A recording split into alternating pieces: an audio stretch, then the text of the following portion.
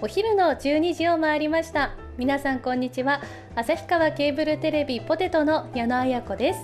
さあ今日から6月ということで、えー、天気もですね青空が広がっておりますけれどもなんだか気持ちのいいスタートが切れそうな気がしますよね。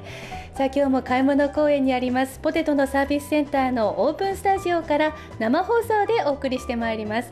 今日は「世界にこんにちは」のコーナーでロシア出身のマリアさんのお話を。そして後半ではイベントカレンダーのコーナーで着物をリメイクしたファッションショーのお知らせをしていただきます。どうぞ最後までお付き合いください。それでは6月1日金曜日のポテトにこんにちは。早速始めてまいりましょう。番組最初は、えー、外国の文化などについて学んでいただく世界にこんにちはのコーナーです。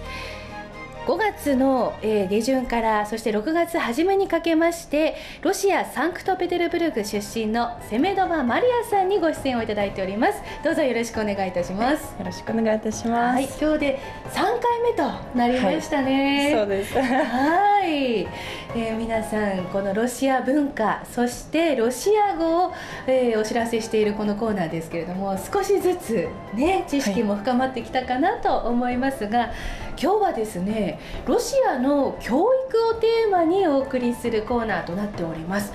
なんでも日本とは、まあ、全然違う教育事情となっているそうですね。そうですね、うん、違うだと思います。はい。なのでえー？ってびっくりすることばかりかもしれませんが、はい、早速教えていただきましょうか、はい、そうですね。日本と違ってロシアの小中および高学科は別々ではなくて、ええ、同じ建物ですね。一貫校です。小中高と一貫校、そうです。えー、じゃあ小学校入学して高校卒業するまでは、まあ、基本的には同じ学校に通うっていうことですか？基本的にはそうですね。引っ越しさえなければそのクラスメートも変わらないので、えー、その建物も変わらないですね。クラス替えもないんですか？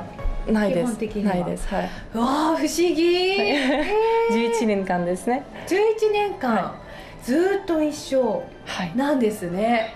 へえまあ、日本だと小中高ってまあ別々のところに進学しますから、はい、そこでクラスメイト変わったり先生変わったりもちろん校舎も変わるっていうのが、まあ、一般的なんですけどまずそこが大きな違いなんですね。で教室の写真が今そうですね、えー、皆さんご覧いただいてますけれども、はい、教室では、まあ、1人ずつではなくて2人ずつに座ってます。クラスではまあ22人25人、まあ、最大でも30人ですね。あまり多くないんですね、はい、多くないです。はい国立学校だと、まあ、設備もと、まあ、学費もかからないです、はい、全部無料ということです、高校まで無料の場合もあるっていうことですか、はい、そうです、はい手厚いですね。へはい、学校ではクロックルームあと食堂もあります、うん、この写真は食堂ですけれども。そうですね。食堂ではカフェテリアもありまして、まあ、給食も食べられますけれども、うん、カフェテリアもあってそこでまあパンとかパンを買って、うん、あまあ、パンのお菓子ジュースなど軽食も売ってます、はい、教室で食べるわけではないんですね。教室ではなくて食堂です。はい。そうこれは多分と軽食を買ってまあ、お菓子を買って食べてる様子だと思います。はい、皆さんの服装なんですが制服なんですか？制服ですね、はい、学校によりますけれども制服は違います、はい、基本的には各校学校にはその制服になってます、はい、その学校に行く区域っていうかその近くの学校に進むっていうのが基本的なんですかね？そうですはい。あとはもし英語を習いたかったら英語英語の専門というか専門学校に入るんですね、そこはもうちょっと週に5回ぐらいとか毎毎日に英語勉強してるんですね。そういう学校もありまして同じ理系とか物理学とかそのいろんな専門専門そうですね科目が違ってそういう学校があります。へじゃあまあ基本的な義務教育と、はい、そして専門的な教育と、はい、まあこれからちょっとまた詳しく伺いますけれども、はい、本当にまあ手厚いシステムが組まれているわけなんですね。そう例えば今日もそのほとんどの写している写真ですけれども、えー、それはサンクトペテルブルクにある国立学校、うん、ナンバー580 583ですね、うん、そのいただきますという写真がありまして、えー、そうそこのそうそれまあいただきますですね。日本人はみんなよく、えー、日本語書いてあります。ね。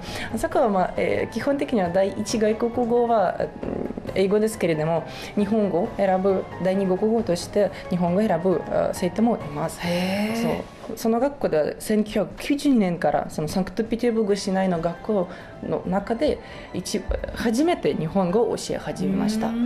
はい、だから現在あ小学生7歳から高校卒業生17歳まで約265人の生徒が日本語を勉強してます。第二外国語として学んでくれているわけですね。そうです。へえ、あと日本語の学校と交流もあるそうですね。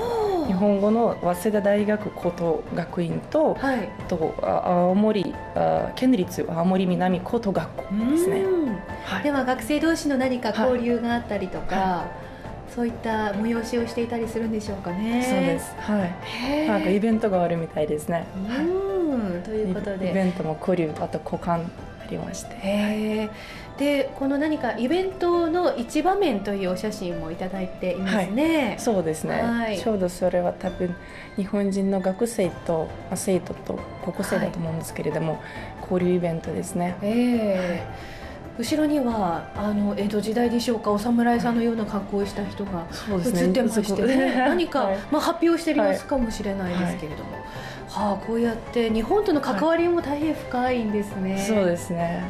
へえそして、えー続いてなんですけれども、えー学校行事についてお知らせいただきますが、次の写写真ですけれどもこのあ先週、えーまあ、先日申し上げましたけれどもロシアでは5月25日最後のベルというはい。イベントが、あ修行式みたいなイベントが行われました。はい、その日はこの高校卒業生と小学1年生こんな風にハンドベルを鳴らします。へそう。えヘンドハンドベルを鳴らしてそれはと学年の終わりという意味を持ってます。うんええはい。ええあとコンサートもあって、まあ、コンサートというか先生にとあ学校の皆さんにあ感謝の言葉を言います。うん。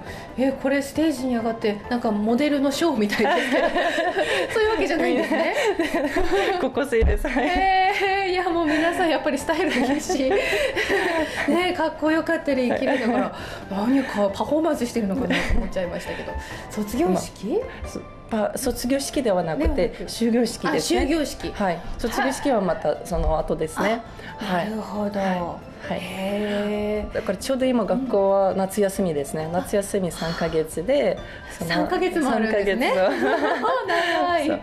夏休み長いですね。そのあと9月1日ああと学校の始まりですねあ学年の始まりです、えええその日も最初のベルというあ始業式がありましてうん。あそこでは同じく高校卒業生と小学1年生がハンドベルを鳴らしえます。学年が始まりますようんという意味ですね、ええ最後のベルと同じように始業式でも、ええベルを鳴らして、ええ一年の始まりを、まあ、セレモニーということではい。お祝いするんですね。またあの学校の先生に何かプレゼントする？習わしもあるそうであ花束ですね花花束を？花ね花を贈る習慣もあります。はい。これはちょうどうー9月1日ですね。そのあ最最初のベルの写真ですね。はい。お世話になる先生にそうです。はいん。先生今年もよろしくお願いしますっていう意味で 花花束を贈ります。抱えきれないほどのはい花束の量になりそうですね。そうですね。はあ、9月から始まってで5月がまあ終業式。そうです。はい。とうまんまあ小学中学校と高等学校はいがあるんですけれども、小学校4年間ですね。4年間、はい、4年間小学校でそこはもうほとんどあークラスメートが、まあ、クラスメートも一緒ですし、うんあと先生も一人ですね、担任もずっと変わらない。はいまあ、そのたまに体育の先生とか英語の先生音楽の先生そのあー専門あの先生があ教えることもあるんですけれども、基本的には一人の先生ですねうん。担任の先生。はい。そう。その後あ授業が終わった後放課後児童クラブもあります。うんはい。そうでこれは放課後児童クラブの様子だと思うんですけれども、えそうそこで、まあ、両親が迎えに来る前でえ宿題したり食事したりあとええ。ゲームしたり楽しく時間を過ごしてます。え日本でいう留守家庭児童会のようなものなんでしょうかね。はい、そうだと思います。はい、はそうですね。その第5学年からえ中学校ですね。中学校は5五年年間です。5年間あるんですね、はい。日本は3年ですけどはい。長いですね。そうですね。はい。5年間でそこはまあクラス、まあ、クラスメートは変わらないし、はい。あといろんなサークルとかクラブに入ることができます。と数の制限はないですね。制限がなくてええ。一つ以上のクラブに入る生徒が多いです。やりたいことがあればいくらでもできるわけですか？はい。そう。あともし音楽やってみてちょっと違うとこ、うん。違うことをやりたかったらまたスポーツクラブに入ることもできます。はい、柔軟ですね、はい、そそんなに厳しくないですね、うん。でそのお子さんの才能を、まあ、最大限伸ばそうっていうような環境はい。が整っているようにそうです。はい。感じますね。はい。へえ。で、えー高校生はえっ、とあと2年間？2年間ですね、まあ、うん。中学の後卒業してその短期大学とか専門学校に入学する生徒もいるんですけれどもその高校ほとんど、まあ、90割ぐらいはうん高校に入るかなと思います。90%ぐらいは？はい、はい。あすみません。はい。そのまま。90%ぐらいです。はい。高校に進んで、はい、そこではあとセンター試験のため勉強してます。あ高校卒業した後にセンター試験があるんですか？はい。は高校そ高校卒業するためために？卒業大学入試センター試験ですね。あじゃあもう大学入るよりもまず卒業できるかどうかっていうところの試験なんですね。そうです、はい、もし不合格だったらその卒業できないですね、はい。厳しいですね。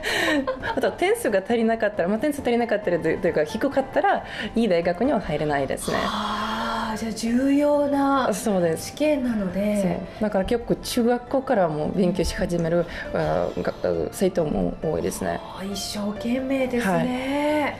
へえ。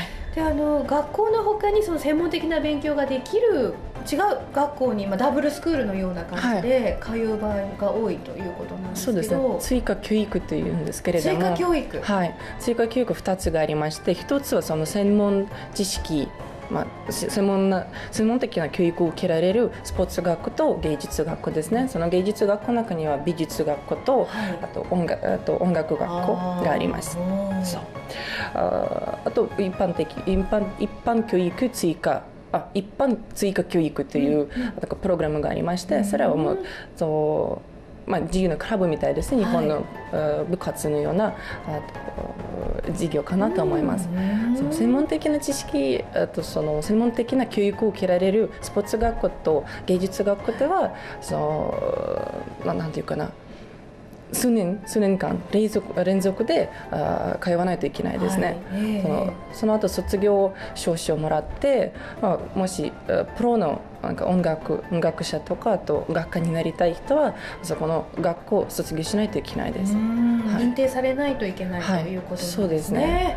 そのプロの道に進むのは難しいです。あーいやでもロシアは、まあ、オリンピック選手も多いですし、あとはバレエだったり音楽家として活動されている方大変多いので、はいまあ、それはそういう、まあ、厳しい専門的な勉強を積む環境があるあります。からこそなんでしょうそうね。スポーツ学もそうですね。うんスポーツ学もそのあーなんという青少年スポーツ学校とオリンピック選手養成専門スポーツ学校があります。二つがありまして、そう基本的には一般教育を受けられる学校の後通うんですけれども。あーたまにオリンピックに向けてそのモスクワのなどのその大都会であるスポーツ専門学校であー練習しながらあ一般教育を受けられる感じです。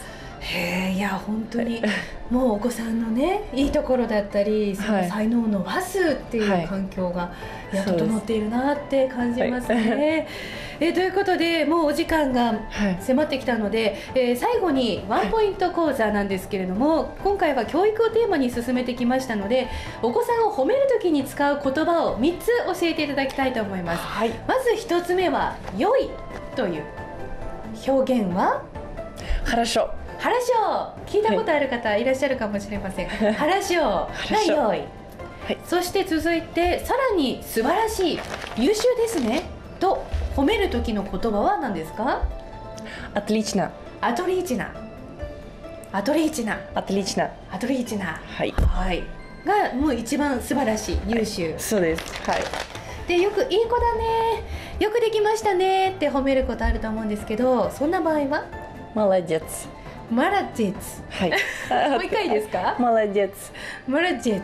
はい。カタカナにするとマラデーツなんですけどもちょっとネイティブ違いますね、マラジェツ。マラジェツ。レが難しいですうんね難しいですけどお子さんを褒めるときに、マラジェツ使ってみてはいかがでしょうか、ということで今日は教育をテーマにロシアの、えー教育事情について教えていただきましたけれども次回のご出演がいよいよ最終回となりますね、えー6月の4日月曜日に予定していますがこの日はですねマリアさんの得意分野でもございます料理をテーマに またいやいやいやお料理上手だと聞いてますよ。はいお話を伺う予定となってますので最終回6月4日月曜日もどうぞ皆さんご覧くださいということでここまではロシア・サンクトペテルブルク出身のマリアさんと一緒にお伝えしました。マリアさん今日もありがとうございました、ありがとうございました。